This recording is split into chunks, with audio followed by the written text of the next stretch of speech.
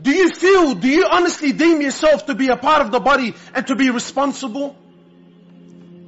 You know, my brothers, my time is short. You know what? Let's drop the issue about what's happening around the world.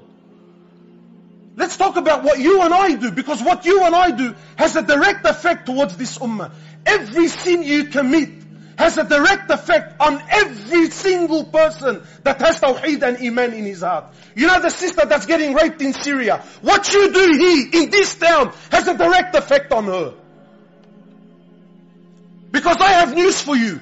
That day that you decided to be a Muslim, the day that you decided to say La ilaha illallah Muhammad Rasulullah, you entered the fold of Islam. And when you entered the fold of Islam, you fell under the umbrella of the Ummah. And when you became a member of the Ummah, you became a part of the body. So what you do has an effect on the Ummah. Brothers are walking around today telling me, listen, and please excuse me, I know we're sitting in the masjid, but I'm not here to give you Disney stories. We're either here to speak the haq, honestly, or let's just shut shop and go home, and let's just all sit down and watch TV.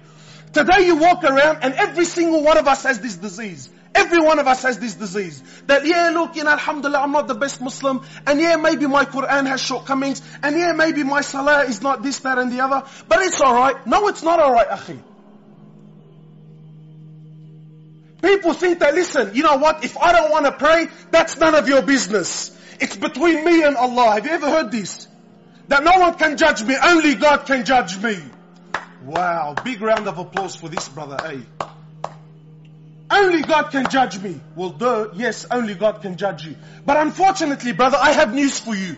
Your shortcomings has an effect on me, has an effect on my wife, has an effect on my children, and has an effect on the rest of the ummah. So it's not up to me to allow you to do your wrong and to do your haram and not stand before you, right, and give you clear warning that what you're doing is wrong and batil. The Prophet of Allah in the Sahih Hadith, وَالَّذِي نَفْسِي بِيَدِي the Prophet of Allah takes an oath by Allah. He says, you either enjoin that which is good and you forbid that which is wrong. This is a responsibility upon everyone. This is not the responsibility of Muhammad Hoblos. It's not the responsibility of the mashayikh. It's not the responsibility of the ulama. It's the responsibility of every person that has iman and tawheed in his heart to call to that which is good and forbid that which is wrong. Why? O Prophet of Allah. What if I don't want to do it? What if it's none of my business? What if I want to do my own thing? He says you will do it. Or by Allah, Allah Azza wa Jal will send down His punishment upon you. You will raise your hands and make dua and Allah subhanahu wa ta'ala would not accept your prayers. Allah will not accept your prayers. My brothers and sisters, please, don't you see what's happening around you? Don't you understand that death is around the corner for every single one of you? Every one of you. Did you know this? Did you know death stares you in the face every single day?